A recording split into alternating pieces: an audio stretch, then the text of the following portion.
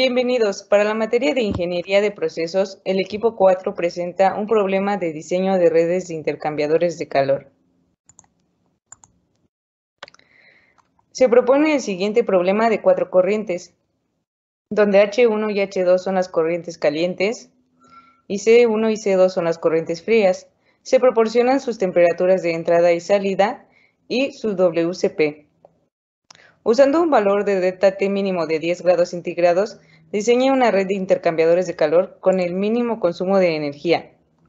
Primero, para la solución de este problema, se ajustan las temperaturas de las corrientes calientes, restando a cada una el valor de delta T mínimo, donde, donde H1 queda de 225 a 70 grados centígrados y H2 queda de 180 a 70 grados centígrados. Las corrientes frías no necesitan ajuste. Después, con referencia a las temperaturas ajustadas, se ordena de mayor a menor sin tomar en cuenta los valores duplicados, donde nos quedan de la siguiente manera. A partir de las temperaturas modificadas que se han obtenido, se definen intervalos de temperatura. Para cada una de ellas se efectúa un balance de entalpía. El primer intervalo de 250 a 225 grados centígrados se encuentra la corriente 4, entonces, para obtener el delta H1, se considera el WCP de la corriente 4 y el intervalo de temperatura de 250 a menos 225 grados centígrados, que nos da un total de menos 100 kilocalorías por hora. El segundo intervalo de 225 a 180 grados centígrados se encuentran las corrientes 1, que es caliente, y la corriente 4, que es fría. Para obtener el delta H2, se consideran los, los CP de la corriente 1, que es 3.5, y se le resta el de la corriente fría 4, que es 4. Se multiplica por eh, intervalo de temperaturas, por la diferencia de intervalo de temperaturas, y nos da igual a menos 22.5 kilocalorías por hora. El tercer intervalo de 180 a 115 grados centígrados se observa que se encuentran todas las corrientes, la 1 y la 2 que son las calientes y la 3 y la 4 que son las frías. Se consideran sus calores específicos, se realiza la sumatoria de, de las corrientes calientes y se les resta la sumatoria de las corrientes frías. Se le multiplica por el intervalo de temperaturas y nos da igual a 32.5 kilocalorías por hora.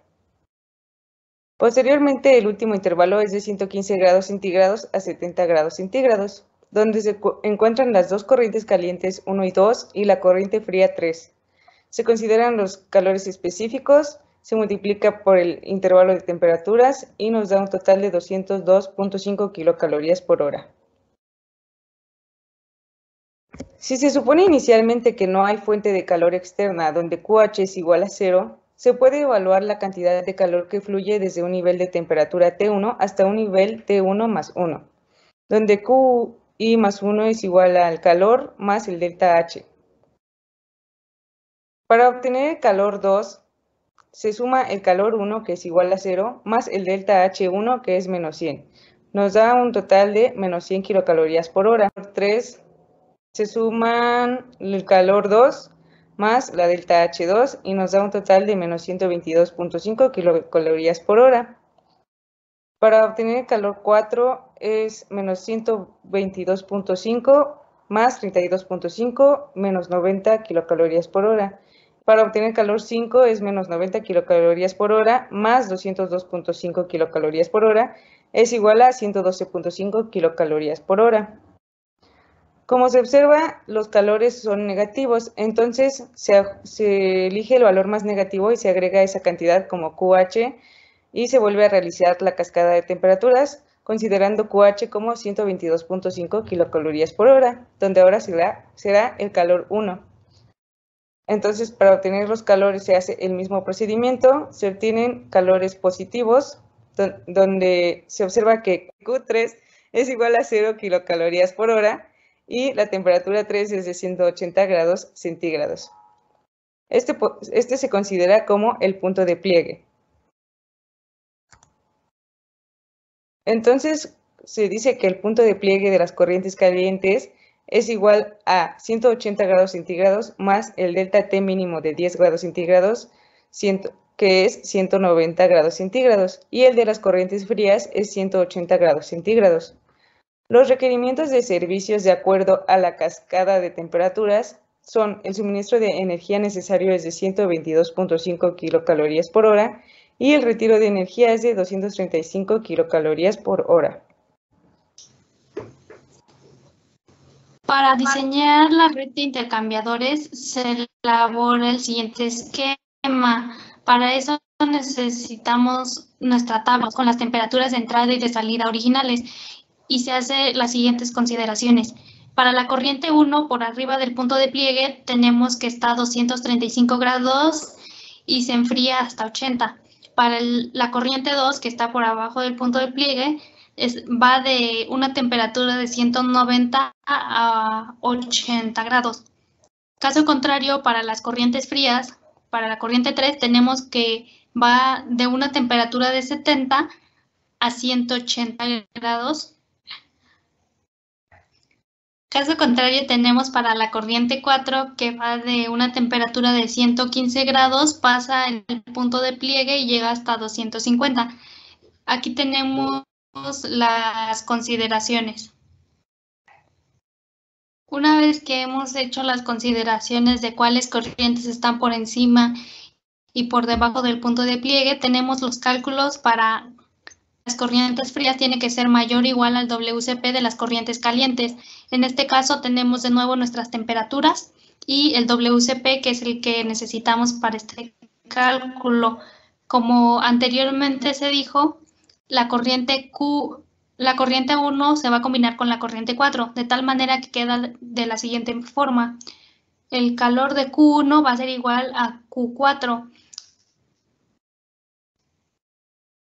Desglosando la, la corriente 1 por la temperatura 1 menos la temperatura de punto de pliegue de la corriente caliente va a ser igual al WCP de la corriente 4 por la temperatura de salida de esa corriente menos la temperatura de punto de pliegue de la corriente fría. Para esto necesitamos calcular la temperatura de salida de la corriente 4. Una vez hecho los despejes queda de la siguiente forma. Sustituyendo tenemos que la temperatura de salida, temperatura del punto pliegue de la corriente fría es de 180 el WCP de la corriente 1 con nuestra tabla vemos que es de 3.5 y el WCP de la corriente 4 tiene un valor de 4. La temperatura 1 de la corriente es de 235 y la temperatura de punto de pliegue, como se dijo anteriormente, es de 190. Una vez que se hacen los cálculos, se tiene que la temperatura de salida de la corriente 4 tiene un valor de 219.375 grados centígrados. Una vez que tenemos esta temperatura, se sigue con el siguiente cálculo, donde la corriente fría, al no llegar a 250, eh, necesita que se le administre calor. Para eso se usa un calentador y se hace la siguiente fórmula para calcular el calor necesario y queda de la siguiente manera. El calor de Q4 es igual al WCP de la corriente 4 por la temperatura final de la corriente 4 menos la temperatura de la salida de, de, la corriente 4. Ya que tenemos todos los valores, se hace la sustitución y se obtiene que el calor Q4 de calentamiento va a ser igual a 122.5 kilocalorías sobre hora. Eh, comprueba que nuestra corriente, en nuestra cascada de temperaturas, eh, suministramos un calor de 122.5.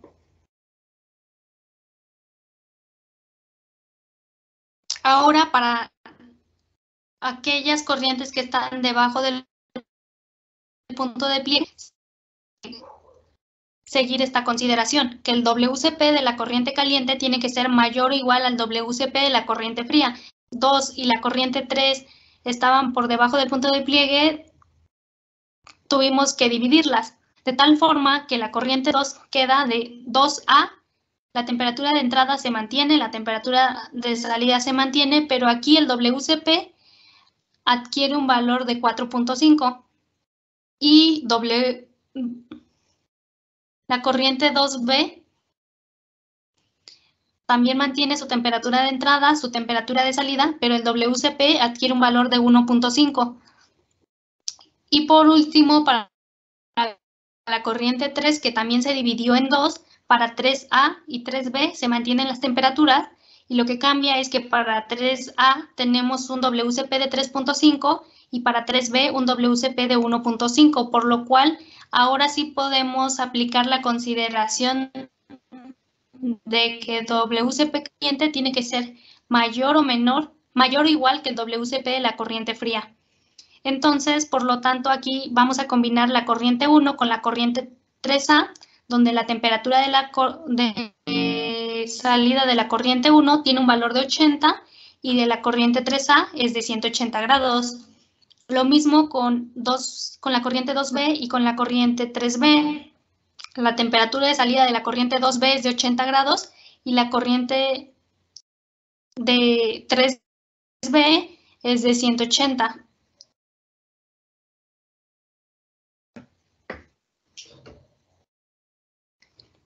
Una vez que hemos hecho las consideraciones, vamos a combinar la corriente de 2A con la 4 y se tiene lo siguiente. Se hace el mismo procedimiento que los cálculos anteriores, pero aquí necesitamos calcular la temperatura de salida de la corriente 2A. Una vez que hicimos el despeje y sustituimos los valores, nos da un valor de temperatura de salida de 132.20 22, 22. Y de igual forma calculamos el calor que de enfriamiento que vamos a considerar en la corriente 2A con la fórmula que dice que WCP de la corriente 2A eh, eh, por la temperatura de salida de la corriente 2A menos la temperatura de 2A nos va a dar el calor de enfriamiento que se necesita para esta corriente. Una vez sustituyendo los valores, nos da un valor de 235 kilocalorías sobre hora.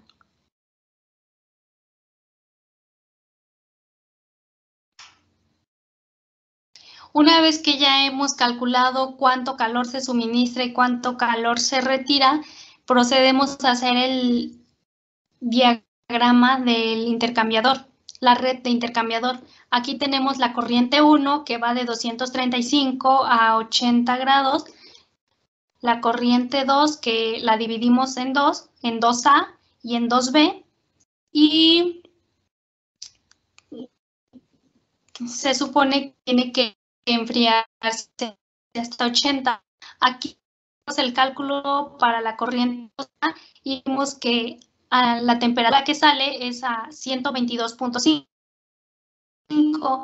por 80 grados, es necesario enfriarla. Por lo tanto, se agrega un enfriador en esta parte para que de 122.5 alcance la temperatura deseada, que son los 80 grados.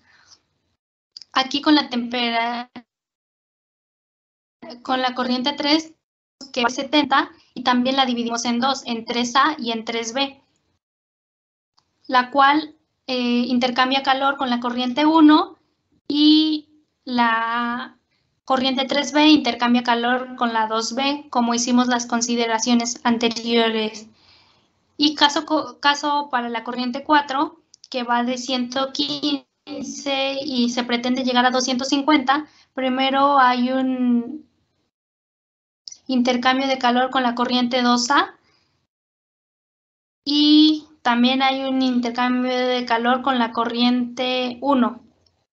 Aquí de 115 sale, pasa el punto de pliegue y sale a 219.375 grados. Nosotros queremos que se caliente hasta 250, por lo tanto, de 219.37 a los 250 es necesario suministrarle calor, por lo tanto se agrega aquí un calentador. Y de esta forma tenemos nuestra red intercambiador de calor.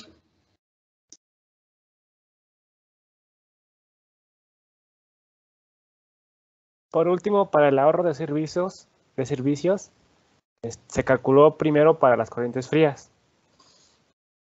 Se obtuvo el calor requerido para la corriente C1 que va de 70 grados centígrados a 180 grados centígrados, multiplicando su WCP por la diferencia de temperatura y se obtuvo un valor de 550 kilocalorías sobre hora.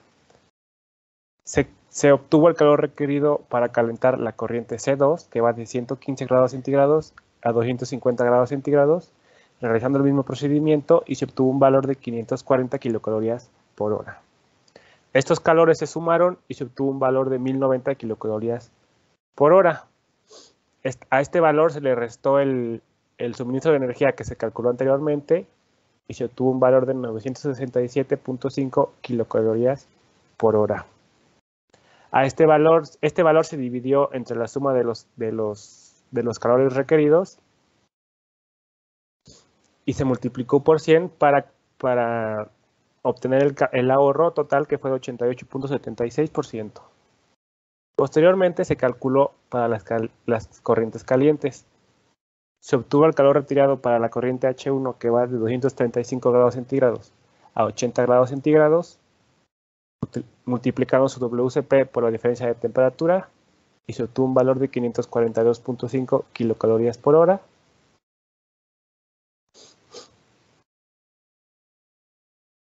También se calculó el calor, el calor retirado para la corriente H2 que va de 190 grados centígrados a 80 grados centígrados. Se sumaron esos calores y se obtuvo un valor de 1202.5 kilocalorías por, hora. A este valor se le restó el retiro de energía que se calculó anteriormente y se obtuvo un valor de 967.5 kilocalorías por hora. Este valor se dividió entre la suma de los calores retirados se multiplicó por 100 para finalmente calcular el ahorro que fue de 80.45%. Sería todo, muchas gracias por su atención.